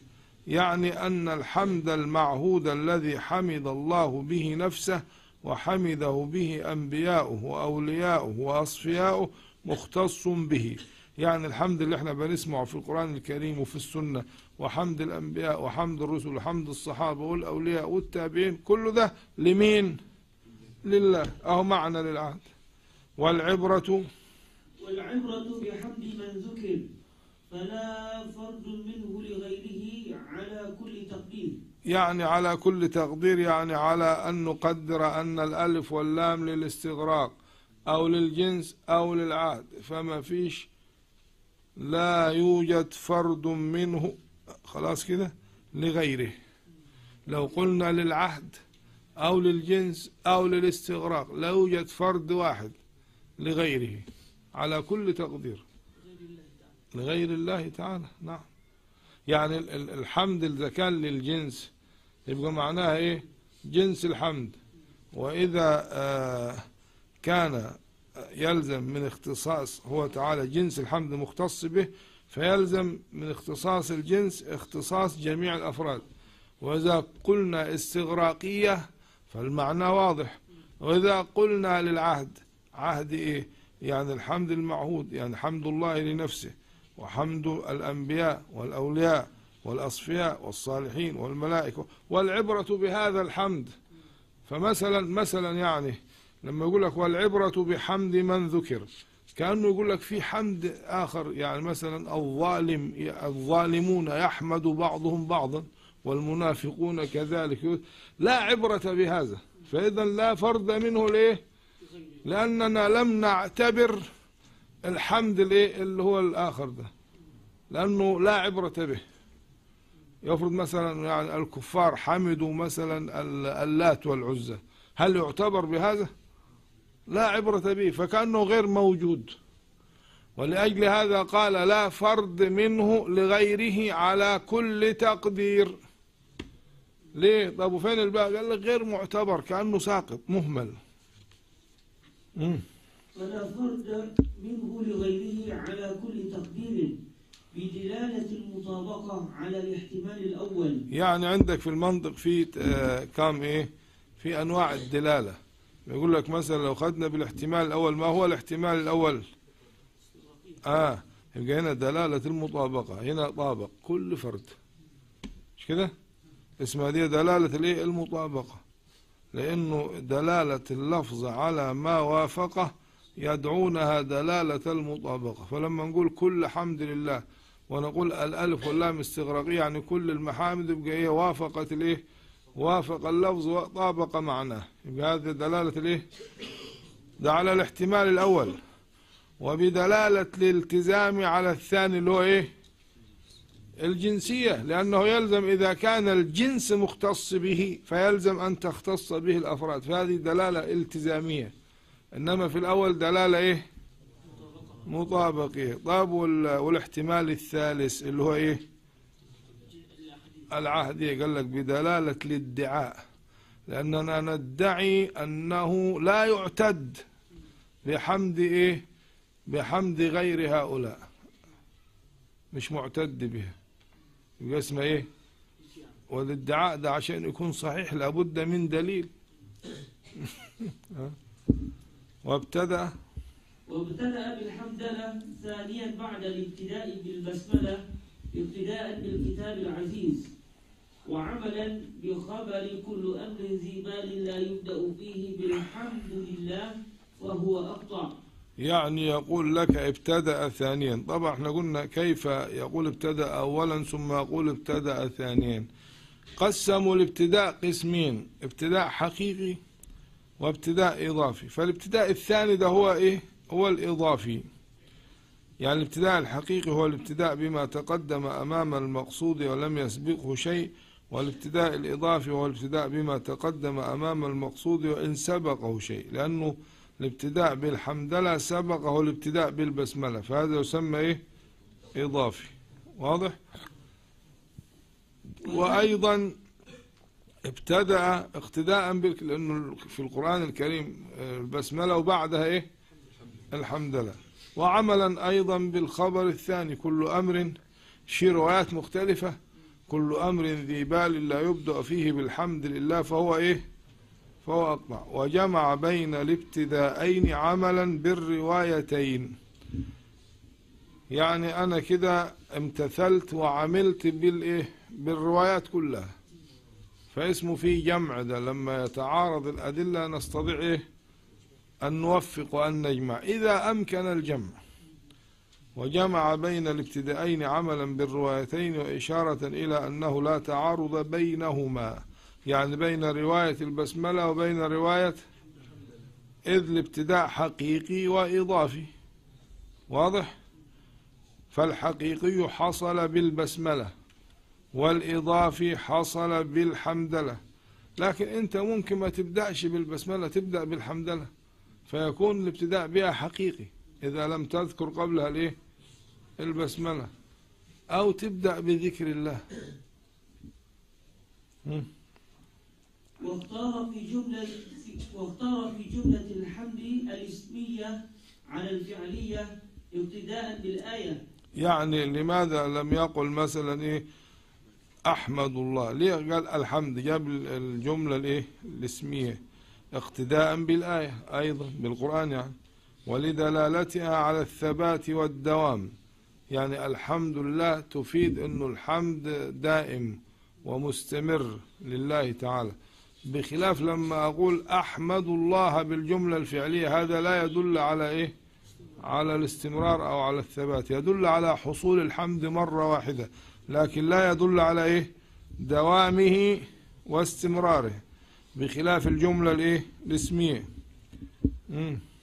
وقدم لفظ الحمد على لفظ الجلالة لرعاية المقام. يعني لماذا؟ يعني ليه بيقول لك قال الحمد لله ولم يقل لله الحمد؟ يعني لماذا لم يقدم لفظ الجلالة؟ زي مثلا في سورة الجاسية فلله الحمد. مش كده؟ مش الحمد لله. قال لك لرعاية المقام لأن المقام هنا مقام افتتاح ومقام ثناء وحمد لله فيقدم الحمد. وفي القرآن كذلك. هل في الفاتحة؟ بسم الله الرحمن الرحيم. لله الحمد رب العالمين ولا الحمد لله. لأن المقام هنا مقام ثناء. زي مثلا في التشهد. ماذا نفعل نحن في التشهد في الصلاة؟ بنعمل إيه؟ بنصلي على النبي الأول ولا بنسلم الأول؟ ها؟ ماذا نفعل في التشهد؟ الصلاة على النبي الأول ولا السلام؟ السلام الأول. السلام عليك أيها النبي ورأس. بعد كده الصلاة. مع أنه الآية طلبت ليه الصلاة أولا؟ يا أيها الذين آمنوا صلوا عليه وسلموا. ولم يقل سلموا عليه وصلوا. وجينا في التشهد عكسنا. فنسلم الأول وبعدين إيه؟ أليس كذلك؟ طب لماذا؟ لماذا عكسنا مع أنه اللي في الآية الأمر بالصلاة أولا؟ يا أيها الذين آمنوا صلوا وأنت في التشهد التحيات لله السلام عليك. السلام في صلاة هنا؟ لا. وبعدين بنصلي فين؟ في آخر التشهد. يبقى إحنا عملنا عكس الآية. مع أن النبي صلى الله عليه وسلم كان حريص على موافقة القرآن. لما جاي آه، فرغ من الطواف وراح استلم الركن قبله وذهب إلى الصفا. كيف فعل في السعي؟ بدأ بالصفا ولا بالمروة؟ قال أبدأ بما بدأ الله به. يا ربنا بدأ بالصفا إن الصفا والمروة مع أنه القرآن ما رتبش الواو إيه؟ لا تقتضي الترتيب. لم يقل إن الصفا ثم المروة. الواو مطلق الجمع. والنبي قال أبدأ بما بدأ الله به. وكان في الوضوء لما يجي يغسل يرتب حسب الآية. يعني يغسل الوجه وبعدين اليدين وبعدين الرأس مسح الرأس وبعدين الرجلين زي الآية. ولا كان يبدأ بغسل الرجلين فكان يتبع إيه؟ ترتيب القرآن. إيه اللي خلى الحكاية عكست فين؟ في التشهد. ليه؟ لأنه المقام يقتضي التحية. التحيات فيبدأ به بالسلام لأنه السلام هو التحية. إحنا هنا في مقام تحية التحيات فنبدأ بالسلام. تحياتهم يوم يلقونه سلام. فلأجل هذا قدم السلام لأنه المقام فيها مقام إيه؟ ها؟ هذا في التشهد الأول. المقام مقام إيه؟ تحية. أما في التشهد الأخير نصلي على النبي صلى الله عليه وسلم وبعدين نسلم عليه. واضح؟ يبقى هنا مراعاة للمقام. قدم إيه؟ الحمد على لفظ الإيه؟ الجلالة. مش كده؟ يلا. وقدم لفظ الحمد على لفظ الجلالة لرعاية المقام وإن كان لفظ الجلالة أهم بالتقديم لذاته. آه يعني لا يعني شوف لو نظرت إلى لفظ الجلالة لذاته ما فيش حاجة تقدم عليه. إنما هنا عشان المقام أنا بحمد الله. فأعمل إيه؟ أقدم الحمد. لأني لا أريد تقديم لا ده أنا أريد أن أحمده فأقدم الايه الحمد. فرعاية المقام أنسب للبلاغة. أيوه هذا هو البلاغة. البلاغة مراعاة مقتضى الحال. يعني لو لو ما راعيتش المقام ما يبقاش عندك بلاغة. إذ هي يعني إذ هي مطابقة الكلام لمقتضى المقام. آه هي ده البلاغة. أحسن تعريف للبلاغة كده. مطابقة الكلام لمقتضى المقام. فإذا لم يقتضي أو يطابق مقتضى المقام كده مش بلاغة مم. الذي قد أخرجنا أي أظهر لا مش أخرج الله. فيش نون. آه الحمد لله الذي قد أخ... هي أخرج من غير ألف بس هذه الألف عشان الوزن عشان ال- ال- الشطر الثاني أخرج الحجة عشان الكلمتين يبقوا مع بعض في الوزن. فهذا يسمى إيه؟ ألف تسمى دي ألف الإطلاق وهي الألف الواقعة في آخر الروي. إذا كانت حركة الروي فتحة فالصوت ينطلق. آه كلمة ألف الإطلاق عشان الصوت ينطلق بها. هي أصلا فتحة بس لما انطلق بها الصوت قلبت ألفا. أي معنى كلمة الإطلاق؟ يعني أطلقت بها النفس أو أطلقت بها الهواء. أخرج يعني أظهر وأوجد. نتائج الإيه؟ الفكر. نتائج جمع نتيجة. وهي قضية لازمة لمقدمتين. النتيجة يعني معناها قضية ملازمة لمقدمتين. شوف كده أجيب لك هنا المثال وأنت تقول لي فين النتيجة. أه شوف كده محمد أه مجتهد. دي قضية. وكل مجتهد ناجح. هذه القضية الثانية. بنسمي القضية الأولى المقدمة الصغرى. محمد مجتهد. وكل مجتهد ناجح هذه هي المقدمة الكبرى. نحذف المكرر. محمد مجتهد نشيل مجتهد. وكل مجتهد نشيل مجتهد فتظهر لك النتيجة. محمد مجتهد وكل مجتهد ناجح فالنتيجة محمد ناجح. هذه هي النتيجة. يبقى النتيجة معناها قضية لازمة لازم يكون قبلها إيه؟ مقدمتين. شوف كده؟ ونجيب مثال ثاني الذي جاء به الشيخ. العالم خد بالك العالم حادث. دي الصغرى المقدمة الصغرى العالم حادث. خلاص كده؟ دي نتيجة. لكن هذه النتيجة لازمة لمقدمتين. المقدمة الأولى اللي هي الصغرى العالم متغير. والثانية اللي هي الكبرى وكيف نعرف الفرق بين الصغرى؟ لأن الصغرى تندرج في الكبرى فالتي فيها سور كله هي الكبرى. نقول نقول مش الكبرى هي الثانية والصغرى هي الأولى. ممكن أنا أضحك عليك أقول لك إيه؟ أقول لك كل متغير حادث والعالم متغير. يبقى أيضا الكبرى هي الإيه اللي فيها كل حتى لو جاءت مقدمة مش مهم الترتيب. المهم هنا إنه في مقدمتين. الصغرى مندرجة في الكبرى. العالم متغير وكل متغير حادث إذا النتيجة العالم إيه؟ حادث. أجيب مثال آخر. أقول لك علي صائم. وكل صائم يعمل بكتاب الله. علي يعمل بكتاب الله. زيد صالح. وكل صالح يدخل الجنة زيد يدخل الجنة. القرآن كلام الله وكل كلام الله قديم. القرآن قديم. يبقى دائما النتيجة تسبقها مقدمتين. حتى ولو كانتا محذوفتين أو واحدة منهم محذوفة. لما أقول مثلا إيه شوف كده هذا يحد. ده النتيجة. فين المقدمات؟ المقدمة الصغرى هذا زاني وكل زان يحد فالنتيجة هذا يحد. فممكن أو, أو أقول كذا هذا زان فهو يحد وحذفت الكبرى لأنه معناها معروف هذا هذا زان وكل زان يحد فهذا يحد. ممكن أحذف الصغرى فأقول كل زان يحد فهذا يحد. ممكن أحذف الاثنين للعلم بها. والحذف في إيه؟ في بعض المقدمات أو إحدى المقدمات للعلم بها أو في النتيجة أيضا جائز. بس يكون إيه؟ تكون معلومة. يعني هجيب لك مثلا من القرآن الكريم مثال. شوف كده. تحذف فيه بعض المقدمات لأن القرآن الكريم اشتمل على الأدلة المنطقية وعلى الأشكال الثلاثة. الشكل الأول مذكور في القرآن. والشكل الثاني والشكل الثالث. أما الرابع لا لأنه بعيد عن الطبع. يعني مثلا تعالى كده أجيب من قصة سيدنا إبراهيم عليه السلام. شوف كده. إذ قال إبراهيم ربي الذي قال أنا أحيي وأميت. شوف كده. آه قال إبراهيم فإن الله يأتي بالشمس من المشرق فأتي بها من المغرب فبهت الذي ده قياس ده بيسموه قياس منطقي من الشكل الأول. لأنه كأنه سيدنا إبراهيم بيقول له إيه؟ ها؟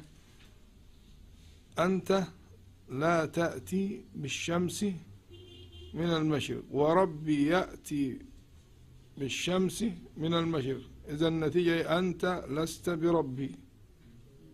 آه كده لو أنت خدتها كده هتطلع منها إيه؟ هذا القياس. ونجيب ممكن من الشكل الثاني. لما جن عليه الليل رأى كوكبا قال هذا ربي. فيقول هذه هذه الكواكب آفلة مش كده؟ آفلة. وكل آفل ليس بربي. إذا هذه الكواكب والنجوم ليست ربي. ده قياس من الشكل الثاني. طب نجيبه من الشكل الثالث. آه، الشكل الثالث إنه يكون الحد الوسط موضوع في الصغرى وفي الكبرى. يعني مثلا شوف كده آه، قال تعالى وما قدر الله حق قدره إذ قالوا ما أنزل الله على بشر من شيء. ما أنزل الله على بشر من شيء. دي قضية سالبة كلية يعني معناها لا أحد من البشر أنزل الله عليه شيئا. دي اسمها سالبة كلية. ما أنزل لا نفي. ما أنزل الله على بشر من شيء. دي سالبة كلية. طيب كيف نقضها الله وأبطلها بالموجب الجزئية. وقال تعالى قل من أنزل الكتاب الذي جاء به؟ موسى. فيبقى القياس كيف نصوغ القياس ده؟ نقول كده شوف كده. موسى موسى شوف كده. موسى بشر. مش هم قالوا ما أنزل الله على بشر من شيء؟ هشوف القياس. موسى بشر ولا مش بشر؟ هو موسى إله ولا بشر؟ بشر. طيب سؤال ثاني موسى أنزل الله عليه الكتاب اللي هو التوراة. يبقى موسى بشر. مش كده وموسى أنزل الله عليه التوراة اللي هو الكتاب. موسى بشر وموسى أنزل الله عليه التوراة. يبقى هنا الحصل هنا إيه؟ يبقى بعض البشر اللي هو موسى أو عيسى أو سيدنا محمد أنزل الله عليه شيء. فأبطلها الله تعالى اللي هم خلوها سالبة كلية. فأبطلها بالموجب الجزئي لأن الله لم ينزل على كل البشر وإنما أنزل على بعض الإيه؟ البشر ومنهم مين؟ ومنهم موسى. فالبعض ولو كان إيه؟ ولو كان واحد يصح به الإبطال. لما أقول لا يوجد في الطلبة واحد مجتهد ثم تقول لي فلان يبقى أنت أبطلت ليه؟ السالبة الكلية ولو بواحد. واضح كده؟ طيب يلا. عرفنا إيه معنى النتيجة؟ يعني إيه ال- اللي هو بينتج بعد ترتيب المقدمات الصغرى والكبرى ثم يأتي الايه المطلوب. تسمى نتيجة وتسمى إيه آه المطلوب أيضا. خلاص؟ يلا. الفكر. وتسمى دعوة. نعم بس كله بحسب بحسب الاعتبارات. يطلق على المفكر فيه مجازا. يعني لما قال نتائج الفكرة أن اللي هم فكروا فيه. إحنا فكرنا في إيه؟ وعلى حركة النفس في المعقولات. يبقى الفكر كده تعريفه إيه؟ حركة حركة عن انتقال. والمراد بالنفس يعني العقل. حركة النفس في المعقولات. يعني إيه حركة النفس في المعقولات؟ يعني يجيب المبادئ ويتوصل بها ينتقل من المبادئ إلى المطالب. يجب يتحركوا. الحركة عن الانتقال ينتقل من شيء إلى شيء. فهنا يسمى مفكر. بس في إيه؟ في المعقولات الأمور الذهنية. أما حركة ال- النفس في المحسوسات هذه خيال. يبقى الفرق بين الفكر والخيال. ها؟ الفكر في المعقولات والخيال في المحسوسات. يعني لو لو أنا رأيت شجرة وتأملت فيها وأعجبني شكلها ثم غابت عني فتحرك النفس تحركت نفسي تصوري. هذا يسمى خيال لأنه في إيه؟ في شيء محسوس. أما في المعقولات هو الإيه؟ الفكر ويطلق الفكر على المفكر فيه. بيقول لك حركة النفس في المعقولات أي انتقالها من المبادئ إلى المطالب. أو ده الانتقال الحركة يعني وعلى النظر الاصطلاحي اصطلاحا. يعني الفكر يسمى النظر ال- يسمى الفكر نظرا بالمعنى الاصطلاحي. فيعرف الفكر على الأخير اللي هو إيه؟ المعنى الاصطلاحي. ترتيب أه ترتيب أمور معلومة للتوصل بها إلى أمر مجهول. يعني بجيب أمرين معلومين. أمور يعني أمور مش أمر واحد. لازم يكون على الأقل أمرين. فأتوصل من خلالهما إلى أمر مجهول. أنا مش عارف آه، الشيخ خيري ده هينجح أو لا. فأفكر أقول إيه؟ خيري ده مجتهد والمجتهد أو كل مجتهد ناجح. فتوصلت بهذا الحركة إلى أن خيري ناجح. ليه؟ لأنه ربطت به بالاجتهاد. وأدخلت في زمرة المجتهدين أو في زمرة العلماء العاملين فأصبح من الناجحين. يبقى هذا أمر كده آه، كيف توصلت إليه؟ بترتيب معلومين. لكن الأول لم أكن أعلم أنه إيه؟ من الناجحين أو من المجتهدين إلا بترتيب الأمرين. يبقى الفكر اللي هو النظر بالمعنى الاصطلاحي ترتيب أمور كلمة أمور يعني مش ليس جمع مش ثلاثة يعني أم- أمرين فأكثر. يعني ليس بشرط أن يكون إيه؟ ثلاثة ممكن يكون أمرين أو ثلاثة أو أربعة. المهم أقل حاجة إيه؟ للتوصل بها إلى أمر مجهول. يعني مثلا مثلا عاوزين نعرف مثلا هل الله تعالى يرى؟ في يرى بالأبصار ولا لا؟ إحنا نجهل هذا لا نعرف هل يرى أو لا فنقول كده الله تعالى لا يرى لأنه ليس بجسم. يبقى في هذه الحالة إيه؟ وإذا لم يكن جسما لا يرى فتوصلنا إلى أنه لا يرى. لكن نيجي للأدلة النقلية مش الأدلة العقلية. فنقول الله تعالى يرى لا في جهة وليس في شكل وليس في صورة لأن الذي يرى في جهة وفي شكل وفي صورة هو الإيه؟ الجسم. وهكذا نستطيع أن نتوصل إلى ما نريده في أي شيء في العلم الكلام في في الأصول في المنطق وليس قاصرا على قضايا عقلية فقط. في كل إيه؟ ما نريد أن نتوصل إليه نرتب إيه؟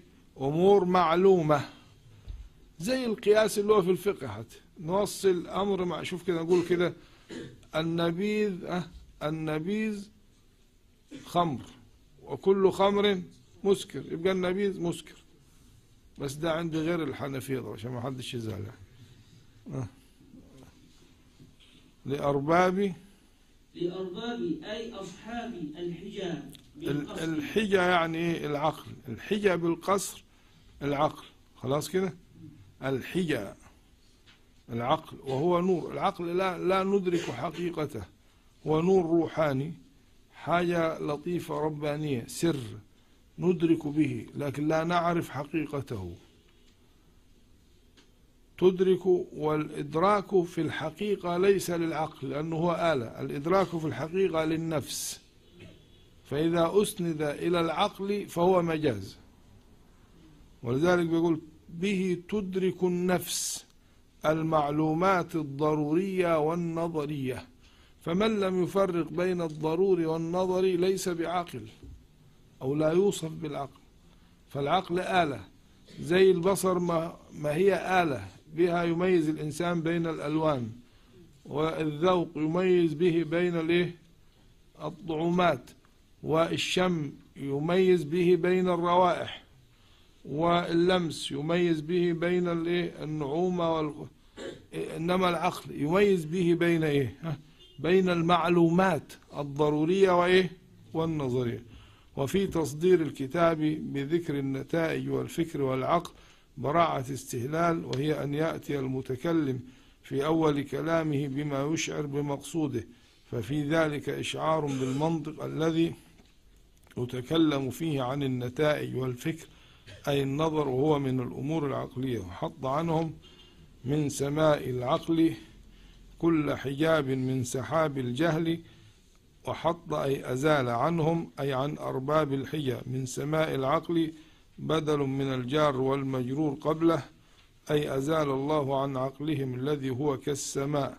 فألف العقل بدل عن الضمير وشبه العقل بالسماء لأنه محل طلوع شموس المعارف المعنوية. كما أن السماء محل لظهور شموس الإشراق الحسية. كل حجاب مفعول حط أي كل مانع من سحاب الجهل أي من الجهل الذي هو كالسحاب. فالإضافة من إضافة المشبه به للمشبه. يعني بيقول إيه؟ في مشبه وفي مشبه به. يبقى هنا ما هو المشبه؟ أضاف المشبه به للمشبه. ما هو المشبه به؟ السحاب. وما هو المشبه؟ الجهل. كسابقه. لأن الجهل يمنع العقل عن إدراك العلوم المعنوية. كما أن السحاب يمنع النظر من إدراك الشموس المحسوسة. فكل من السحاب والجهل وجودي. يعني آه، شبه. شيء وجودي بشيء وجودي. ولا نقول شبه شيء وجودي بشيء إيه عدمي. حتى بدت لهم شموس المعرفة رأوا مخدراتها منكشفة حتى للانتهاء. أي إلى أن بدت ظهرت بدت ظهرت. لهم شموس المعرفة أي المعرفة التي كالشموس والجمع للتعظيم. يعني لماذا لم يقل بدت لهم شمس المعرفة؟ وإنما قال شموس. جمعها لإيه؟ للتعظيم وليس للتكثير. رأوا مخدراتها مخدرات شموس المعرفة أي مسائلها الصعبة. وسميت مخدرة عارف المخدرة؟ التي هي في الخدر يعني التي هي إيه؟ مخفية غير ظاهرة. أي مسائلها الصعبة شبهت بالعرائس المستترة تحت الخدر. منكشفة يعني متضحة يعني كانت إيه؟ مخفية. فصارت واضحة ومعلومة. نحمده جل على الإنعام بنعمة الإيمان والإسلام من خصنا بخير من قد أرسل وخير من حاز المقامات العلى محمد سيد كل مقتفى العربي الهاشمي المصطفى. صلى عليه الله ما دام الحجى يخوض من بحر المعاني لججا وآله وصحبه ذوي الهدى من شبهوا بأنجم في الاهتداء. اقرأ. نحمده.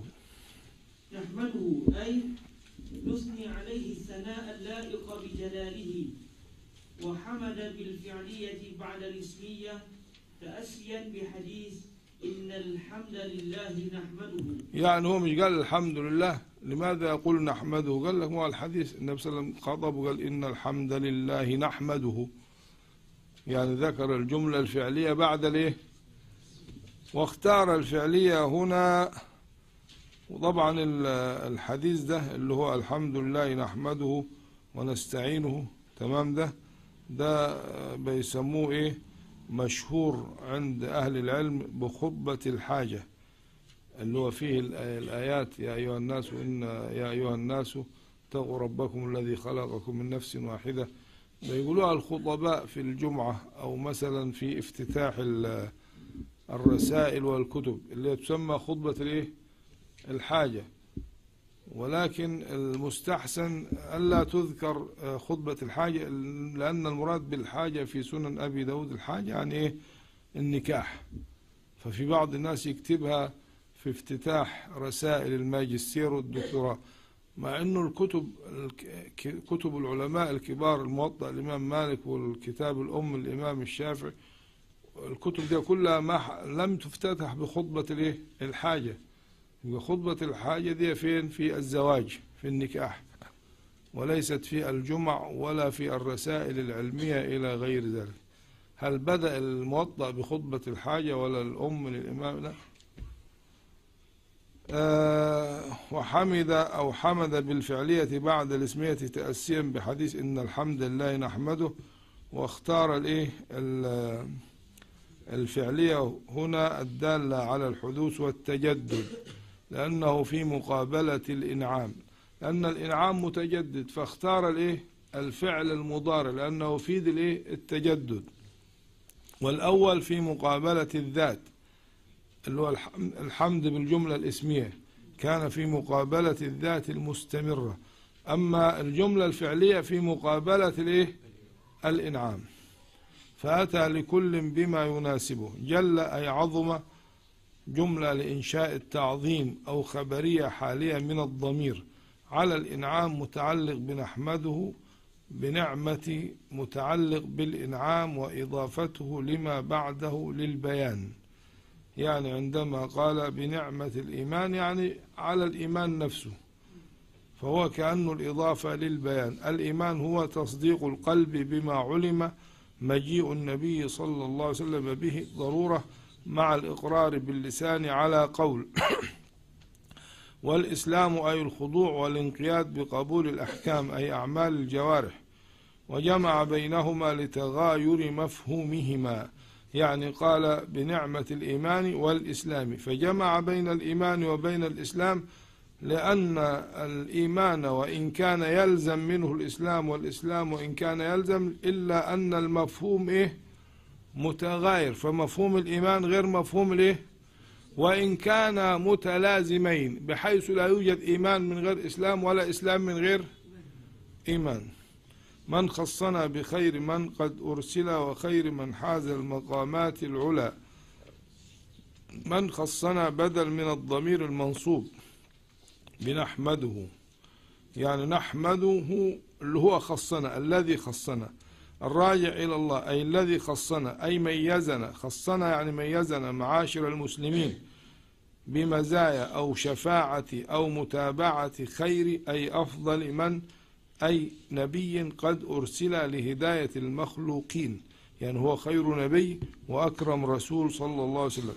وإنما قدرنا المضاف قبل خير لئلا يرد أن رسالته صلى الله عليه وسلم عامة لسائر الأمم.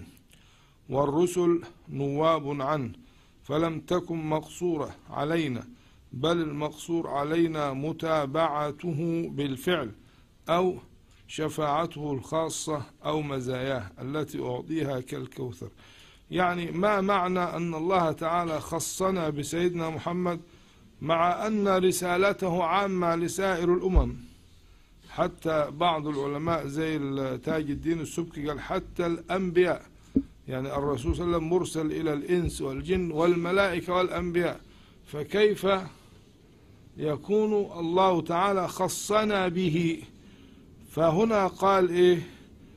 آه قدرنا المضاف قبل خير لئلا يرد.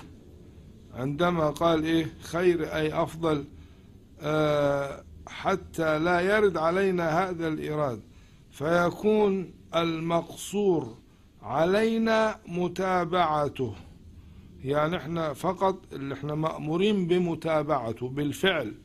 الأنبياء كانت لهم شرائع والملائكة ليسوا مكلفين بشريعته. فمن فما معنى خصنا؟ يعني ما معنى هذا القصر؟ يعني خصنا يعني جعلنا جعل جعل المتابعة مقصورة إيه؟ علينا. أو قصر شفاعته الخاصة أنه في شفاعة عامة تنال الخلق جميعا وفي شفاعة خاصة. أو المزايا التي أعطيها لأمته مثل الكوثر فهذه مقصورة علينا. فهذا التوضيح كان لابد منه خير أي أفضل من حاز أي جمع المقامات المراتب العالية جمع عليا ضد السفلى مثل كبرى. وكبر. محمد سيد كل مقتفى العربي الهاشمي المصطفى.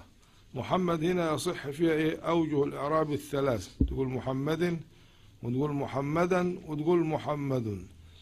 خلاص كده؟ بس اللي يناسب الايه يمتنع النصب عشان عدم موافقة الايه النظم. والرفع خبر محذوف والنصب مفعول أمدح. لكن الرسم لا يساعد النصب. يعني ما تقولش محمدا لأنها لو كانت فيها تنوين كده ألف كان ممكن إنما هنا لا توجد الايه العلامة التي تدل على النصب. والرفع أرجح أرجح معنى ليناسب ارتفاع رتبته. يعني في المعنى نقول محمد أما في الإعراب هنا بحسب الإعراب نقول محمد. يبقى يجوز الايه؟ الثلاثة. إلا أن واحد ممتنع والأولى اللي هو عليه النظم أن نقول محمد. لكن الأحسن في المعنى هو إيه؟ الرفع. كل مقتفى سيد يطلق لمعان منها متولي السواد أي الجيوش العظيمة. فيكون سيد هنا معناها قائد. كل مقتفى اسم مفعول أي متبع من الأنبياء والعلماء. يعني إذا كان صلى الله عليه وسلم سيد كل متبوع مقتفى يعني متبوع. فلزم من هذا أن يكون سيد التابعين من باب أولى. العربي ده نعت يعني المنسوب إلى العرب وهم بنو إسماعيل. الهاشمي المنسوب إلى هاشم جد النبي صلى الله عليه وسلم. الثاني محمد ابن عبد الله ابن عبد المطلب ابن هاشم. هاشم هو الجد الإيه؟ الثاني المصطفى أي المختار من سائر المخلوقات وهو أفضلهم على الإجماع بإجماع من يعتد بإجماعه. لماذا قال بإجماع من يعتد؟ لأنه أخرج مين؟ كأنه يريد أن يعرض بذكر الزمخشري. فكأنه يعني لم إيه؟ يجعله لم يجعل كلامه معتدا به. ولهذا قال بإجماع من يعتد بإجماعه ولا يخفى حسن تقديم العربي على الهاشمي والهاشمي على المصطفى. يعني عندما تذكر نعوت أو أوصاف تقدم العام على الخاص. يعني لا تقول سيدنا محمد الهاشمي العربي لا تقول العربي الهاشمي فتذكر الصفة العامة ثم إيه؟ تذكر الخاصة بعدها. فلا بد من تقديم العام على الإيه؟ على الخاص فتقول الإنسان حيوان ناطق ولا تقول ناطق حيوان. وهذا إشارة لقول إن الله اصطفى. خد بالك. كنانة من ولد إسماعيل واصطفى قريشا من كنانة واصطفى من قريش بني هاشم واصطفاني من بني هاشم. فأنا خيار من خيار من خيار. صلى عليه الله ما دام الحجى يخوض من بحر المعاني لججا صلى عليه الله من الصلاة المأمور بها اللي في قوله تعالى إن الله وملائكته يصلون عليه وهي الدعاء لأن الجملة إنشائية. والصلاة من الله رحمة أي نطلب منك يا الله وندعوك أن تنزل صلاة أي رحمة على النبي صلى الله عليه وسلم لائقة بجناب ما دام الحجى مدة دوام الحجى أي العقل يخوض يخوض يعني يقطع من بحر المعاني أي من المعاني التي هي كالبحر في الكثرة والاتساع لأن المعاني والعلوم والمعارف كالبحر الغزير. لجج جمع لجة وهو الماء العظيم المضطرب فشبه المسائل الصعبة باللجج بجامع عسر الخوض في كل. زي ما تفكر يصعب عليك كذلك لما تخوض في البحر يصعب عليك للجج والأمواج المتلاطمة. واستعار اللجج للمسائل الصعبة على طريق الاستعارة المصرحة. طبعا ده بلاغة الاستعارة المصرحة هي ما صرح فيها بلفظ المشبه به. خلاص؟ يبقى إذا صرح بلفظ المشبه به تسمى إيه؟ استعارة مصرحة. وإذا لم يصرح تبقى الاستعارة الإيه؟ المكنية.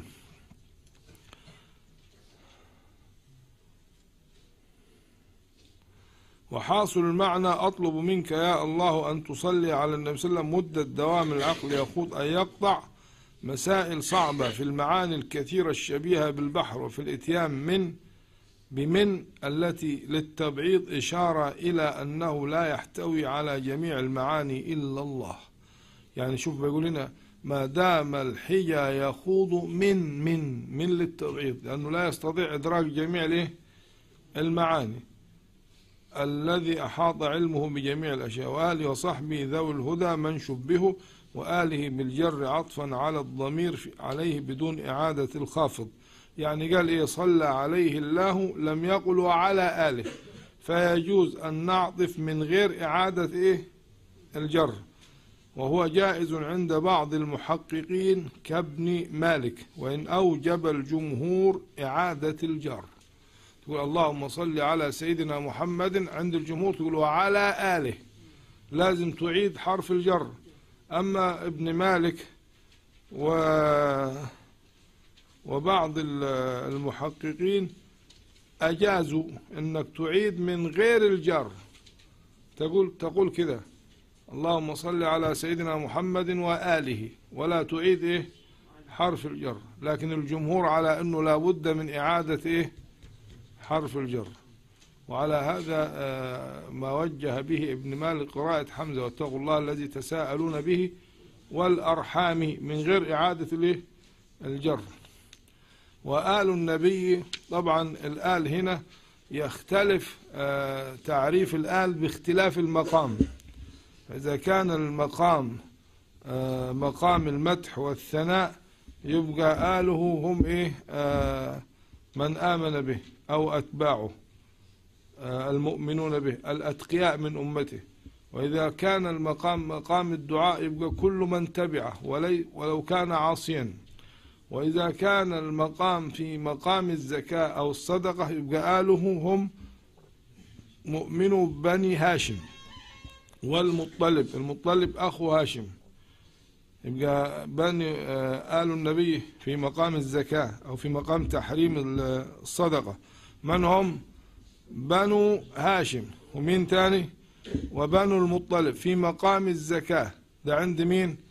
عند الإمام الشافعي. أما المالكية آه، خصوا إيه؟ آه، بني هاشم فقط. والحنفية خصت فرق خمسة من بني هاشم. يبقى عند الإمام الشافعي أو الشافعية آله بنو هاشم ومين يبقى يدخل في آل النبي صلى الله عليه وسلم بنو إيه؟ المطلب اللي هو أخو هاشم. ويدخل إيه؟ آه بنو هاشم. نيجي عند الإيه؟ المالكية. قالوا بس بني ما دخلوش مين؟ المطلب. الحنفية ذكروا خمسة من بني هاشم بس فقط اللي هم آل آل عقيل وعلي. وآل جعفر والحارس والعباس. فقط دول هم إيه؟ آله عند مين؟ عند الحنفية. أما عند المالكية أوسع شوي وعند الشافعية أوسع. والأنسب بمقام الدعاء حمله على أتباعه. طبعا هنا المقام مش مقام زكاة وصدقة ده مقام دعاء. ما نثني.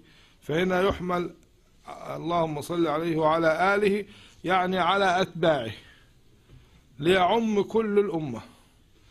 إذا كان في مقام الدعاء يبقى آله يعني أمته. أما في مقام المدح الأتقياء منهم لأنه لا يمدح العاصي. إذا كان مقام مقام دعاء يبقى نوسع. نقول على آله يعني أتباعه مطلقا ولو كان عاصيا. أما إذا كان المقام مقام مدح وثناء يبقى الأتقياء. مقام زكاة وصدقة يبقى إيه؟ نرجع إلى المذاهب الفقهية. بنو هاشم والمطلب عند الشافعية بنو هاشم فقط عند الملكية. الخمسة اللي عند مين؟ وصحبه اسم جمع لصاحب بمعنى الصحابي. وهو من اجتمع وتعريف الصحابي مؤمنا بنبينا بعد البعثة. يعني اللي اجتمع به في الشباب أو في الصغر قبل النبوة لا يعتبر إيه؟ آه صحابي ولا يصح كونه جمعا. يعني آه كلمة صحابي ده أو صاحب اسم جمع اسم إيه؟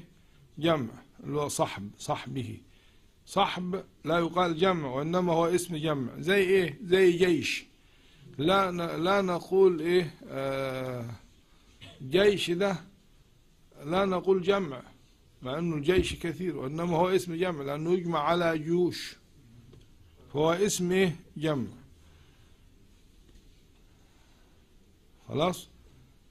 آه لا يكون جمعا لأن فعل الصيغة دي الصيغة في الصرف فعل لا يجمع خلاص لا يكون جمعا لفاعل.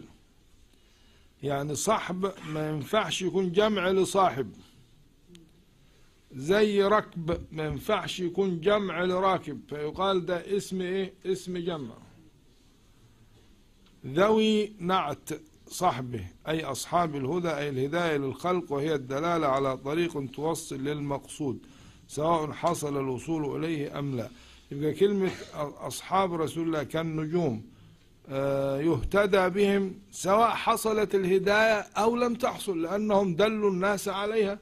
فمن الناس من قبل الهداية ومنهم من لم يقبل. المهم الهداية إيه؟ حاصلة. بمعنى إيه؟ الدلالة. آه من شبهوا آه بأنجم في الاهتداء.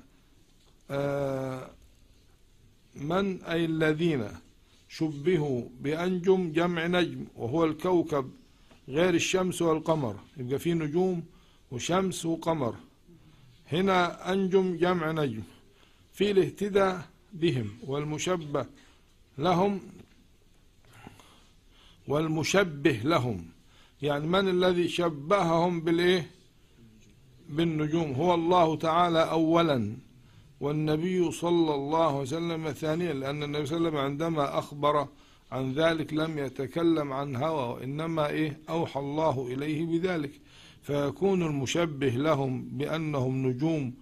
هو الله تعالى أولا والنبي ثانيا وقد جاء في بعض الأخبار القدسية أن النبي صلى الله عليه وسلم سأل الرب عما يختلف فيه أصحابه فقال يا محمد أصحابك عندي. أشوف الأصل أصحابك عندي كالنجوم في السماء بعضها أضوأ من بعض. فمن أخذ بشيء مما اختلفوا فيه فهو على هدي مني. وقال صلى الله عليه وسلم أصحابي كالنجوم بأيهم اقتديتم اهتديتم. وهذا التشبيه للتقريب على العقول بما ألفوه وإلا فالاهتداء بالصحب أشرف من الاهتداء بالنجوم لأن الاهتداء بهم ينجي من الهلاك الأخروي والخلود في النار بل ومن الدنيوي بخلاف الايه؟ النجوم. كذا الحمد لله رب العالمين قطعنا شوطا في هذه المقدمة بسرعة ونسأل الله تعالى أن نكمل هذا الكتاب بتوفيق وإحسان وسداد وصلى الله على سيدنا محمد وعلى آله وصحبه.